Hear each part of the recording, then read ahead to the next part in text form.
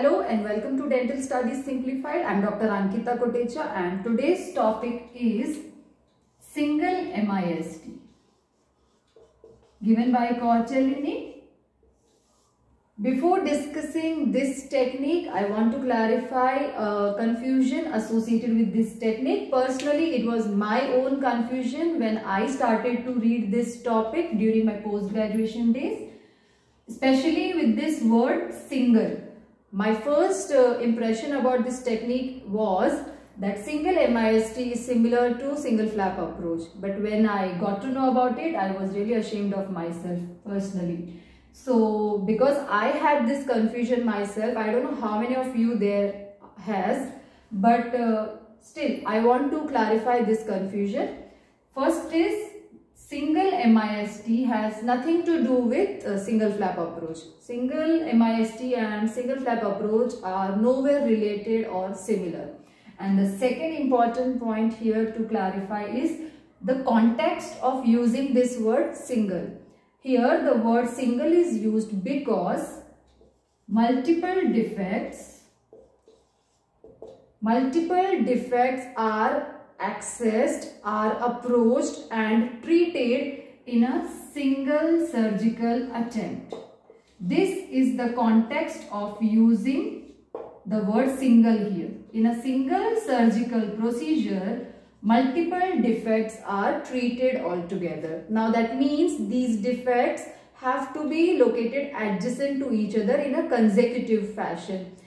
This single MIST procedure has a indication that is multiple defects in adjacent to located adjacent to each other. It shouldn't be like uh, one defect is in a one quadrant, the other one in another quadrant and then they both are connected via single MIST incision no, it shouldn't be like that. Ideally, they have to be located somewhat in this fashion adjacent to each other so that with single MIST approach, these multiple defects are accessed and they all are treated in a single surgical procedure. That is why the term single MIST.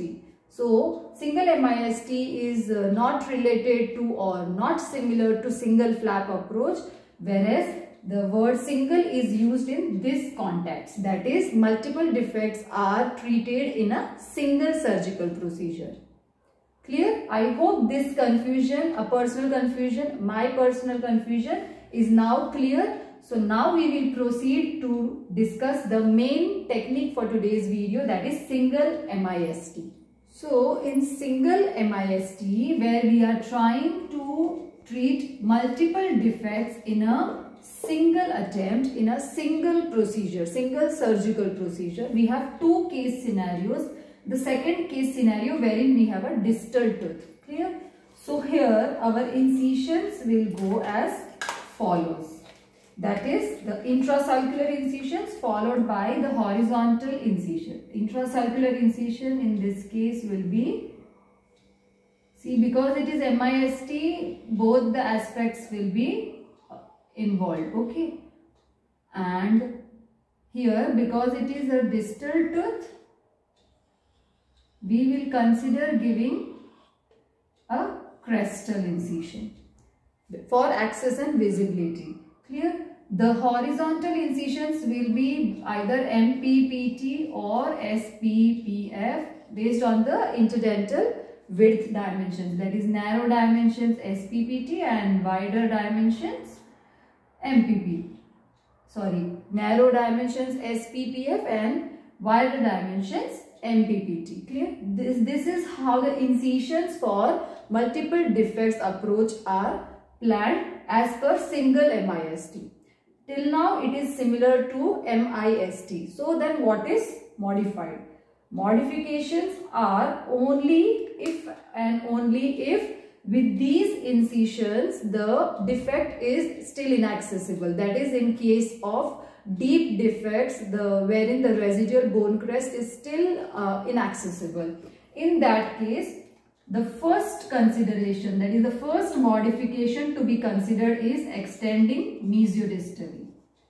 So, when our mesiodistal uh, uh, dimensions are limited to only the teeth involved around the defect. Clear? So we can extend mesiodistally. Mesiodistally in the sense this entire tooth can be involved. But here a special consideration is although we are trying to extend mesiodistally, try and preserve this papilla here in this in, uh, in relation to this tooth which does not have any disease or defect. So it's clinically healthy at least. So when we are trying to preserve the papilla that are associated with the defect on the basis of the papilla preservation principles, even the uh, extra interdental space that is going to be involved should be incised based on the uh, principles of the papilla preservation but uh, the first consideration should be only extending into the sulcus and preserve the papilla totally. Try and not to involve the papilla. Even if it requires, then preserve the papilla in the same fashion as MPPT or SPPF which are uh, applied onto the uh, original uh, area of uh, surgery. Clear? So this is the first consideration, extending mesiodistally but to the sulcus and for papilla, papilla preservation uh, flap. Okay. And uh, try and not to reflect the papilla. Clear? Papilla should be preserved. That is the incisions should be given on the basis of these uh, MPPT or SPPF. Clear? So this is the first consideration, first modification that has to be considered if the defect is still inaccessible with these incisions. The second consideration, although vertical incisions are avoided, the second consideration here is vertical incisions. So, in contrast to the vertical incisions which are usually given beyond mucogingival junction, uh, because those are meant for uh, repositioning, relocating the flap uh, final position. Here the vertical incisions are given only for the accessibility sake. So these vertical incisions will not cross mucogingival junction because we are not uh, willing to or we don't intend to uh, change the final position of the flap. The flaps will be repositioned at its original position post surgery. Okay. That is why we don't uh, intend to reposition it coronally, apically or laterally or in any direction for that matter.